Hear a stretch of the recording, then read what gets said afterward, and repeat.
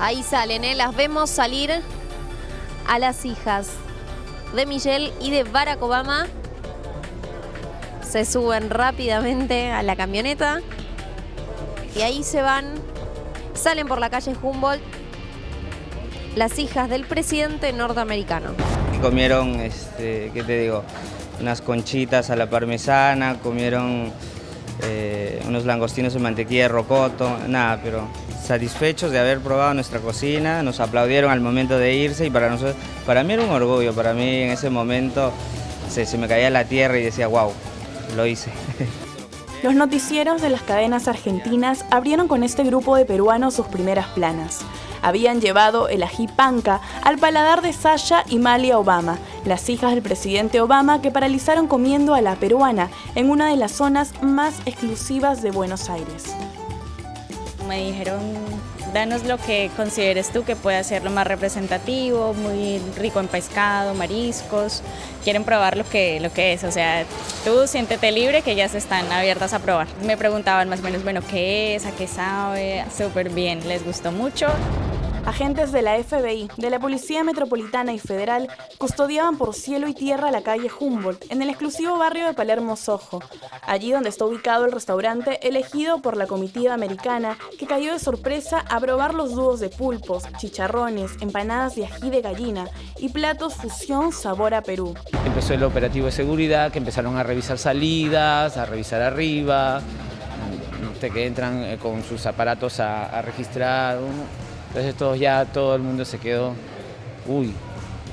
Y de repente en ese, en ese trance ya estaban cerrando las calles. Mientras su padre, Barack Obama, probaba con el tango.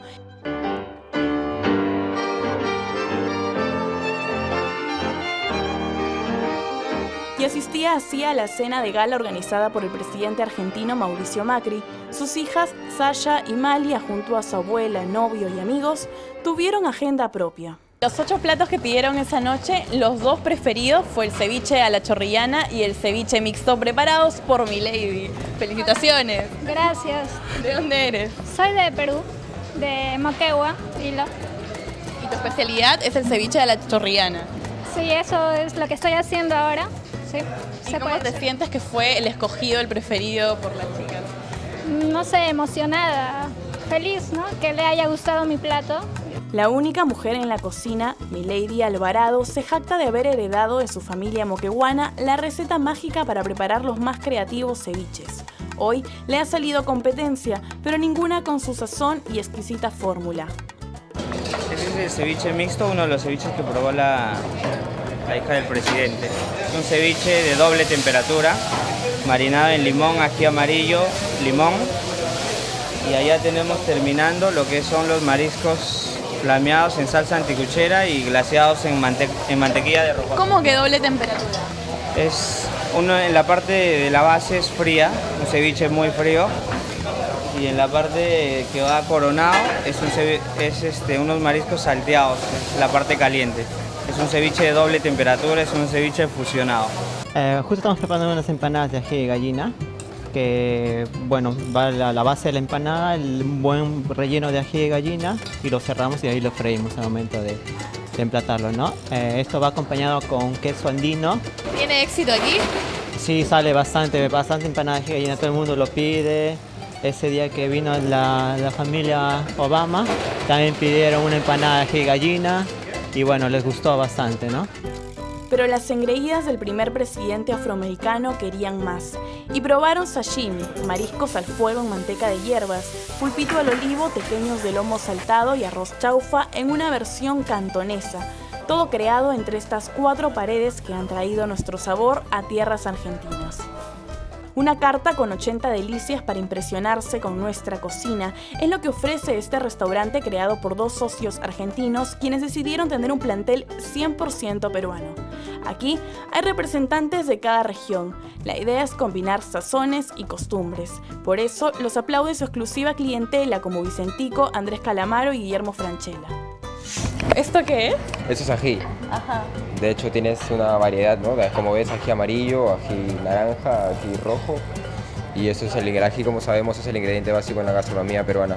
¿Cómo haces con los ingredientes peruanos? Yo voy al mercado central una vez, dos veces al, a la semana a buscar el ají amarillo, a buscar el rocoto, no sé, el rocoto, el ají amarillo.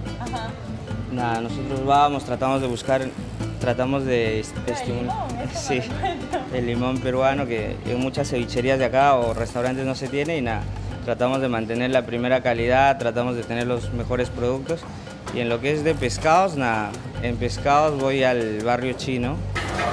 la primera comanda, marcha sale, por favor, ceviche chorrillano, chaufa y langostino.